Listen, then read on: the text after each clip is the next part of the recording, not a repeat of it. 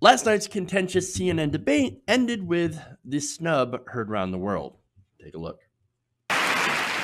And good evening. I'm Anderson Cooper live from the Democratic debate in Des Moines, Iowa. This was it, the last time Americans will hear the Democratic candidates all on stage together, hearing them debate before the first votes are cast 20 days from now. Caucuses in 20 days.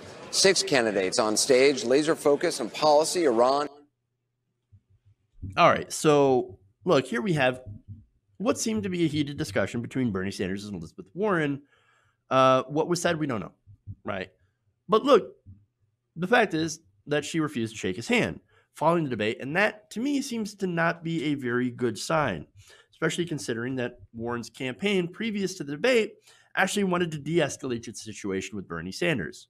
Uh, now, according to BuzzFeed, one of Warren's campaign officials advised supporters in a large pro Warren group chat on Twitter that their next step would be to dial back the confrontation happening with Bernie Sanders. Uh, the let's see. It states uh, the message does where we go from here. Our goal is de escalation and focusing on our shared goals. The staffer wrote to the group according to screenshots of the chat. So look, that's a good goal. Uh, I would have liked a de escalation, but it appears that did not happen. Uh, so during the, the, debate, of course, we saw CNN uh, bringing up their own poorly sourced hit piece that insinuated that Bernie Sanders uh, was some sort of sexist who didn't believe that women could actually win an election, right? Uh, despite Bernie Sanders urging Warren to run back in 2015 uh, and telling Hillary Clinton, of course, that she could beat Trump and become president. A lot of people forget how hard Bernie Sanders, and some people want to forget how hard Bernie Sanders actually fought for Hillary Clinton to get elected, how much he actually tried to get his some a lot of his supporters who actually did follow his advice to support and vote for Hillary Clinton. In fact, Hillary Clinton had twice as much support uh, uh, from Sanders supporters as Barack Obama had from Hillary Clinton supporters back in 2008. So, all right, now going back, right, even so far back as to 1987, where Bernie Sanders uh, was telling um, young girls uh, in a classroom that they too could become president. In fact, I've got that video. Take a look. One other woman governor, there are the mayor of San Francisco is a woman, and there are many women mayors, but not enough. And one of the very important things, and I hope that all the girls in this class understand that you, just as much as the boys, have a right to become president. There's not been a woman president, although there was a woman who was giving thought to running for president this time, a, a from Colorado, a woman named Representative Schroeder gave some thought.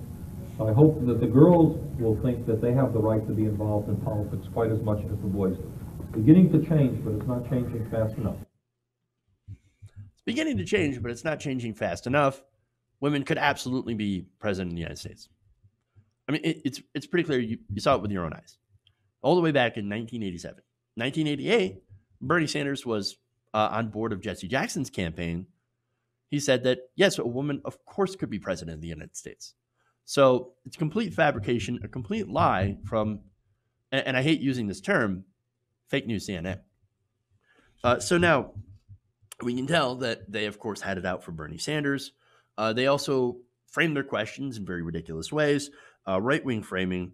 Uh, but the thing that they brought up that inflamed Sanders supporters the most uh, is when they asked this. You're saying that you never told Senator Warren that a woman could not win the election. That is correct. Senator Warren, what did you think when Senator Sanders told you a woman could not win the election? I disagreed. Again, that's not at all true. She said that basically that Bernie Sanders was lying when he denied saying that. Uh, he didn't say, it.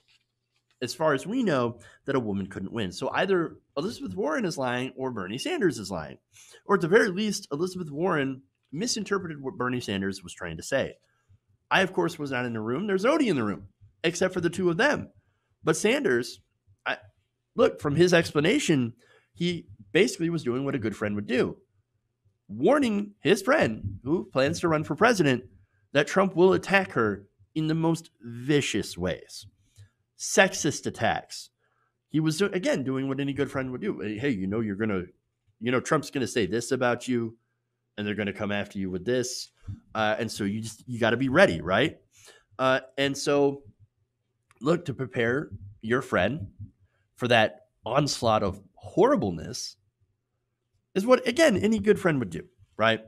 Uh, but look, and, here's the other thing about that. And I should, I, it should be obvious, right? But Donald Trump does not play nice. Okay. Like Bernie plays nice. I, and, I, and I know that that makes uh, people's heads explode. In the, what, what are you talking about? Bernie Sanders is vicious. Oh my God. And his supporters are terrible. No, no, you haven't seen Vicious, right? No, Vicious is Donald Trump, who does not care what he says. He will go after you on anything. And so Trump will not play nice to Elizabeth Warren. And I don't think, I don't know if she's ready for that. Maybe she is, maybe she isn't. Who knows, right? So now the other thing is, I'm wondering, she sat on this for two years. Assuming that she's right, assuming we believe her, why bring it up now? Well, I mean, look, there's a good chance the script, uh, the whole uh, script kerfuffle, right? Uh, and that's an interesting word, kerfuffle.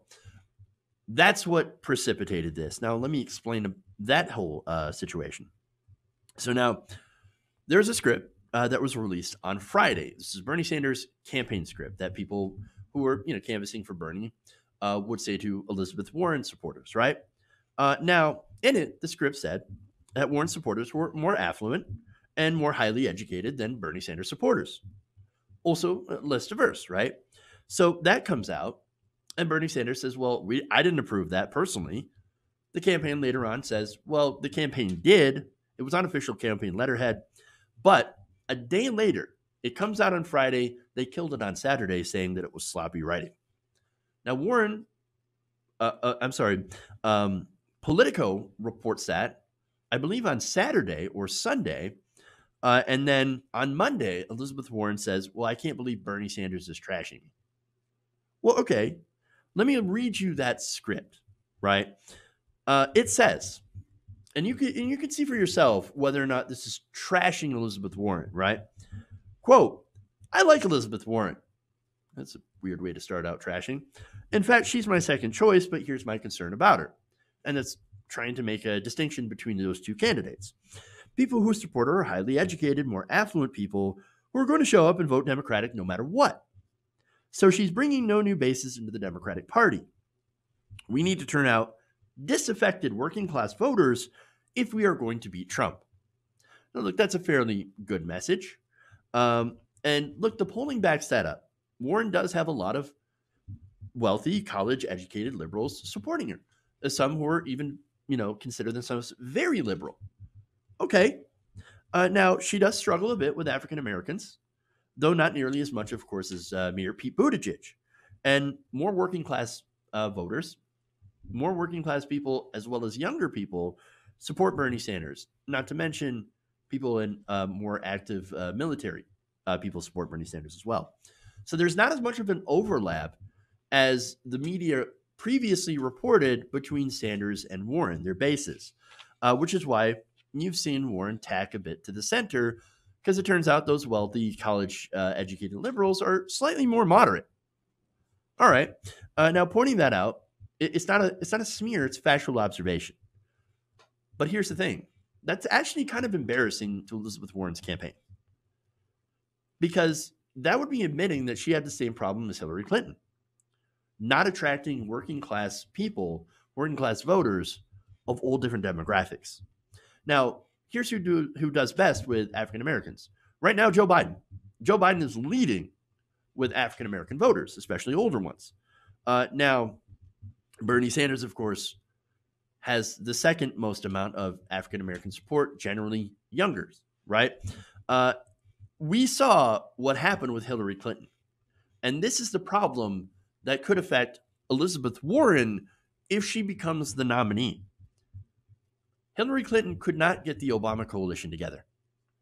There was not as lot as much enthusiasm for her uh, as as there was uh, Obama.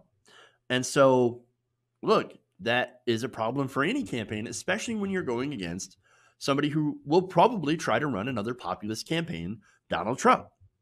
So Warren, of course, is not happy about this. Uh, and so I believe, and this is my speculation, that she pulls this accusation out of a conversation that Bernie Sanders and her had two years ago and used it to weaponize the uh, identity against Bernie Sanders. That's what I believe.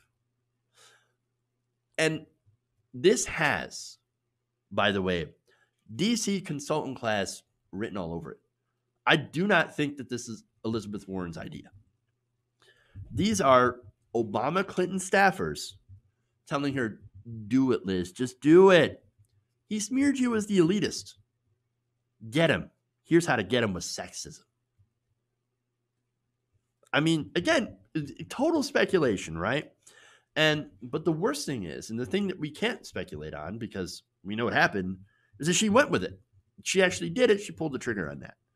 Uh, and still, Bernie Sanders, he reached out and was rebuffed. And so that's what led Bernie Sanders to storm off uh, stage. You don't have necessarily have to hear the exchange between them to know that it was not friendly. And so, and look, you, I I looked at it and and you could see kind of the pain in his face, right?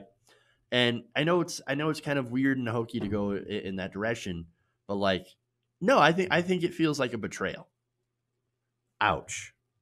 Uh, and so, look, Bernie Sanders has never said himself has never said anything negative against Elizabeth Warren, and yet here we are, right? And a lot of it, I think, is due to the media, where you had Politico and CNN basically doing everything they can to divide Sanders and Warren voters. And so, and look, what makes me the most upset about this is why on that stage she did not say, hold on, I don't think Bernie Sanders is sexist at all.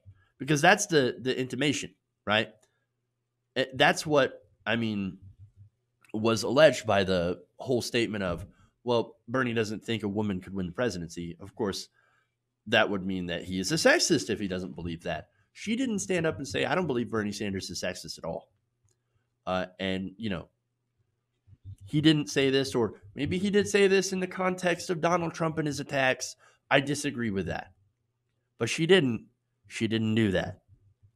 And so, look, this is how the media successfully divided them. And this is what they've been looking for all the time. And they're doing it in order to give Joe Biden a pass. And again, look what happened in that debate. If you watch the whole thing, you could tell that Joe Biden was barely even touched by the moderators. Not at all. He was tweaked on the Iraq vote, but CNN itself, they were gunning for Bernie Sanders. And we know that we have eyes, we can see it. I've never seen anything so incredibly biased and stacked in my life. And if you're wondering where we go from here, well, let's just say and I know tr- Twitter isn't real life, uh, but man, you go there today, hashtag never Warren, hashtag never Bernie, both trending in the top spots. Not good. Hey guys, hopefully you enjoyed that free video. Now I'm going to have to ask you a favor. Between the uh, demonetization and the YouTube algorithm messing around with view counts, etc., we're having a hard time adjusting to the new YouTube reality, which is where you guys come in. See, we have a Patreon, patreon.com slash tytnation, set up to help us rely on the, you guys, the viewers, instead of big corporate ads. Look, you know the show. You know I'm not in favor of big corporations anyway. So help us transition away from relying on the ad model to pay the bills and sign up to be a patron, patreon.com slash tytnation. That goes a long way to help us keep the lights on. And you guys will know that you're supporting independent progressive media.